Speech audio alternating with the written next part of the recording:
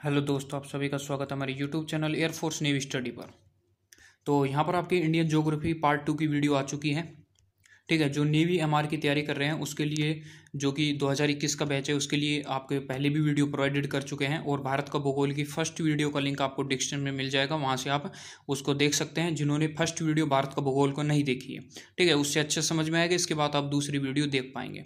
जो कि आप सभी जानते हैं कि यहाँ पर जो भी कॉन्सेप्ट है, वो लिए जा रहे हैं, वो कि बेस्ट लिए जा रहे हैं और बहुत ही ज़्यादा इंपॉर्टेंट क्वेश्चन लिए जाए हैं और सारी चीज़ें यहाँ पर अच्छी तरह आपको मैंसन की जाएगी, आपके ग्राफ द्वारा भी समझाई जाएगी। कहीं पर भी यूट्यूब पर इस तरह का मैंसन आपको नहीं मिलेगा, जो कि इस यूट्यूब चैनल पर आपको प्रोवाइडेड किया जाएगा।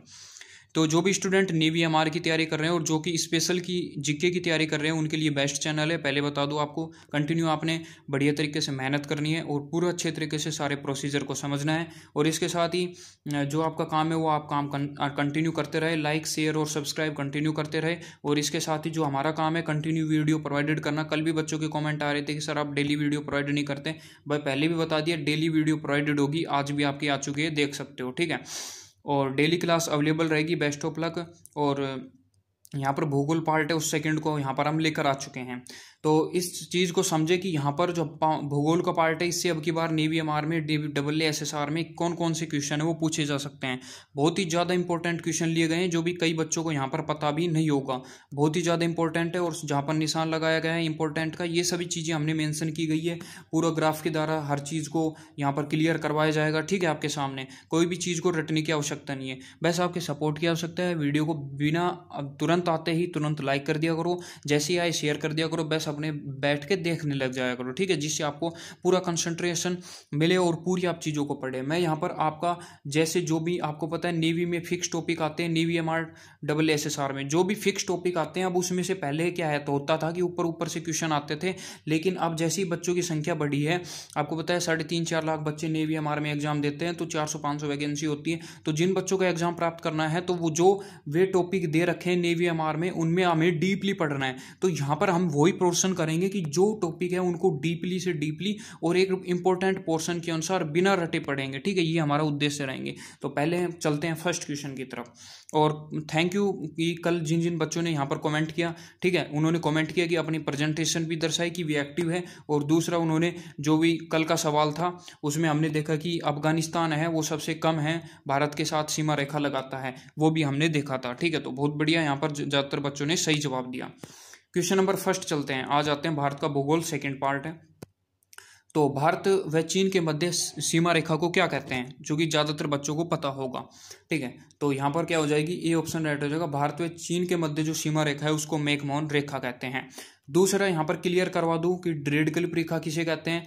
भारत और पाकिस्तान के मध्य की रेखा को रेड क्लिप रेखा कहते हैं। और पाक जल संधि है, उसको ये मत समझना कि जो पाकिस्तान है, कि ये पाकिस्तान और भारत के मध्य नहीं यह पाकिस्तान भारत के मध्य नहीं करके पाक जल संधि है तो ये भारत और श्रीलंका के मध्य है। किन के मध्य है? भारत और श्रीलंका के मध्य। ठीक है, इस चीज़ को ध्यान रखना। और डुरंड रेखा को हम समझाएँगे कई बच्चे कहते हैं कि भारत और अफ़गानिस्तान के मध्य है, लेकिन ये इस समय, वर्तमान समय में गलत है सवाल के हिसाब से, जो कि अगले सवाल में समझेंगे। देखिए सेकंड नंबर क्वेश्चन आ जाता है। सेकंड नंबर क्वेश्चन है, वर्तमान में भारत व पाकिस्तान सीमा रेखा है। तो यहाँ पर मैं कहूँगा, इनमें से कोई नहीं। अब आप कहोगे, सब आपने गलत बताया, हमने तो पढ़ाई कि डुरंड रेखा है। भाई डुरंड रेखा वर्तमान में नहीं है। क्यों नहीं है? देखिए, जैसा कि हम यहाँ पर मानचित्र में देखते हैं तो गौर करते हैं तो यहाँ पर क्या है कि ये पार्ट इंडिया का पहले से अवेलेबल है, ये पार्ट ऐसे, ठीक है? तो इसमें से क्या है कि जो पीओ के क्षेत्र है, उसका कब्जा पाकिस्तान में कर लिया है। इसलिए ये पास्ट टाइम में तो इंडिया के साथ लगी हुई मानी जाती थी, लेकिन प्रेजेंट टाइम में ये पाकिस्तान और अफ़गानिस्तान के मध्य है डुरंड रेखा, ठीक है? क्योंकि पीओ के क्षेत्र है, वो पाकिस्तान के अधिकृत है, ठीक है? इसलिए ये ऐसा माना जाता है। और इसलिए जो वर्तमान में जो भी सवाल आएगा तो वर्तमान में यदि पूछा जाए भारत व पाकिस्तान के मध्य तो बी ऑप्शन राइट नहीं होगा डी ऑप्शन राइट होगा, इनमें से कोई नहीं। इंपॉर्टेंट सवाल है नेवी एम में आ सकता है, बच्चे खूब गलत करेंगे, मुझे इस चीज़ का पता है, क्योंकि पढ़ा नहीं होगा, सीधे ढूंढ रेखा करके आगे चल जाएँगे। कहेंगे, सर सही जवाब है। अगले क्वेश्चन चलते हैं। क्वेश्चन नंबर चार। इसलिए आपको बेस्ट से बेस्ट कॉन्सेप्ट देने की कोशिश की जाती है। और लास्ट में आपसे सवाल भी पूछा जाता है। उसका कमेंट कर दिया करो, जिससे हमें पता लगे कि आपने वीडियो को अच्छी तरह देखिए और हमें भी मोटिवेशन मिले।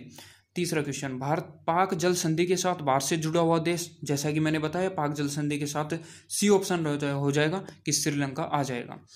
अब अगला क्वेश्चन चलते हैं। बहुत ही अच्छा सवाल है। क्वेश्चन नंबर चार। साढ़े बयासी डिग्री पूर्वी देशांतर रेखा भारत के कितन, कितने राज्यों से होकर गुजरती है? तो बहुत ही अच्छा सवाल है। यहाँ पर आठ मत कर देना। यह मैं कर्क रेखा नहीं पूछ रहा। यहाँ पर मैं पूछ रहा हूँ कि पूर्वी देशांतर रेखा तो पाँच राज्यों से साढ़े बयासी डिग्री पूर्वी देशांतर रेखा होती गुजरती है, जो कि हम बात करते हैं कौन कौन से हैं। यहाँ पर देख लेना। कौन कौन से हैं? उत्तर प्रदेश है, मध्य प्रदेश है, और इसके साथ ही छत्तीसगढ़ है, उड़ीसा है, और आंध्र प्रदेश है। ठीक है? तो यह आपको याद हो जाना चाहिए। अगला क्वेश्चन नंबर पांचवा चलते हैं, उसको देखते हैं। क्वेश्चन नंबर पाँच, कर्क रेखा भारत के कितने राज्यों से होकर गुजरती है, जो कि साढ़े देश तेईस डिग्री रेखा होती है। तो कितने राज्यों साइड देश तेईस डिग्री पूर्वी देशांतर रेखा हो, कितने राज्यों से होकर गुजरती है? तो ए ऑप्शन राइट हो जाएगा, कितने राज्यों से? यह आठ राज्यों से होकर गुजरती है, जो कि यहाँ पर मैं आपको बता देता हूँ, आठ राज्य कौन कौन से हैं? ध्यान रखना, राजस्थान, गुजरात, मध्य प्रदेश, झारखंड, पश्चिम बंगाल और त्रिपुरा, ठीक है? इनसे यहाँ क्या होकर है? होकर गुजरती है। और इसके साथ ही यहाँ पर नीचे की तरफ़ दिया गया है, जो कि मिजोरम भी यहाँ पर हो जाएगा, जो कि इनसे होकर गुजरती है। तो आप देख सकते हैं किन किन राज्यों से होकर गुजरती है। आप इस चीज़ को मेंस रूम में देख सकते हो। यहाँ पर जैसे ही मानचित्र में हम बनाए तो मानचित्र में इस तरह वो रेखा है, वो होकर गुजरती है। मध्य प्रदेश से होती हुई, झारखंड से होती हुई, यहाँ छत्तीसगढ़ और पश्चिम बंगाल से होती हुई, त्रिपुरा से होती हुई, मणिपुर से इस तरह होकर वो रेखा जाती है, कर्क रेखा, ठीक है? तो मेरे हिसाब से आप समझ चुके होंगे। कंटिन्यू हमने अच्छी तरह आपको प्रोग्रेसिव रूम में यहाँ पर समझाया है, ठीक है? और यह हम बात करें, यहाँ पर कौन सी रेखा? हम बात करें कि जो देशांतर रेखा बात कर रहे थे, वो यहाँ से ऐसे होकर जाती है। छत्तीसगढ़ होती हुई, उड़ीसा, आंध्र प्रदेश, इस तरह होते हुए निकलती है, ठीक है? तो यहाँ पर एक ही हो जाएगा और दूसरा छत्तीसगढ़ हो जाएगा और तीसरा उड़ीसा हो जाएगा, चौथा आंध्र प्रदेश हो जाएगा, ठीक है? ये सभी चीज़ें हो जाएगी, ठीक है? तो मेरे हिसाब से समझ चुके होंगे, आप मैप के अनुसार इस चीज़ को अच्छी तरह समझ सकते हैं। अगले क्वेश्चन चलते हैं, क्वेश्चन नंबर छठा चलते हैं। तो ये भी बहुत अच्छा सवाल है। भारत का ऐसा राज्य जो अन्य राज्यों के साथ सीमा लगाता है। सबसे ज़्यादा सर्वाधिक सीमा कौन सा राज्य है वो लगाता है। भारत का ऐसा राज्य। तो ये भी बहुत ही ज़्यादा इंपॉर्टेंट सवाल है। तो सी ऑप्शन राइट रहेगा उत्तर प्रदेश है, जो अन्य राज्यों से सर्वाधिक सीमा लगाता है। क्वेश्चन नंबर सात पर चलते हैं। किस राज्य की तटरेखा सर्वाधिक लंबी है? तो यहाँ पर ए सी ऑप्शन राइट हो जाएगा। गुजरात राज्य की तटरेखा सर्वाधिक लंबी है। और यदि पूछा जाए कि दूसरे नंबर पर सर्वाधिक तटरेखा किसकी लंबी है? तो यहाँ पर बी ऑप्शन राइट हो जाएगा, आंध्र प्रदेश की है। ठीक है? तो ध्यान रखना। क्वेश्चन नंबर आठवा इस पे चलते हैं। क्वेश्चन नंबर आठवा है, तीनों ओर से बांग्लादेश से घिरा राज्य है, जो कि आप देख सकते हो कि ये सवाल पूछा गया था double A S S R के एग्ज़ाम में, और जो double A S S R के एग्ज़ाम में पूछा जाता है, लगभग वही सवाल एम आर के एग्ज़ाम में भी आपको देखने को मिलती है। तो ये सवाल पूछा गया था, जब डबल ए का ऑनलाइन एग्ज़ाम हुआ था दूसरी बार उस समय तो तीनों ओर से घिरा हुआ राज्य कौन सा है? तो यहाँ पर सी ऑप्शन राइट हो जाएगा त्रिपुरा, ठीक है? बांग्लादेश से तीनों ओर से, जैसा कि हम जूम करके यदि ग्राफ में देखें तो आप ग्राफ में देख सकते हो कि यहाँ पर ये है त्रिपुरा और आप देख सकते हो कि इस त्रिपुरा के अंदर यहाँ से बांग्लादेश से यहाँ से भी घिरा हुआ है, यहाँ से भी घिरा हुआ है और यहाँ से भी घिरा हुआ है। यानी कि तीनों ओर से त्रिपुरा है, वो बांग्लादेश से घिरा हुआ है। ठीक है? तो इस चीज़ को मेंशन आप अच्छी तरह समझ सकते हो। अगले क्वेश्चन चलते हैं। क्वेश्चन नंबर नाइन हुआ। ठीक है? अब ये भी बहुत अच्छा सवाल है, भारत में म्यांमार से जोड़ने वाला दर्रा क्या है? कई बार नेवी एम में पूछ लिया जाए कि भारत व म्यांमार को जोड़ने वाला दर्रा कौन सा है? तो क्योंकि दर्रा है और ये आ सकते हैं पहाड़ और पर्वत। तो, तो क्योंकि हम भारत का भूगोल पढ़ रहे हैं तो भारत से संबंधित मैक्सिमम इंपॉर्टेंट चीज़ लेंगे। तो भारत व म्यांमार के मध्य जो दर्रा है वो ए ऑप्शन राइट हो जाएगा तुजू दर्रा आ जाएगा।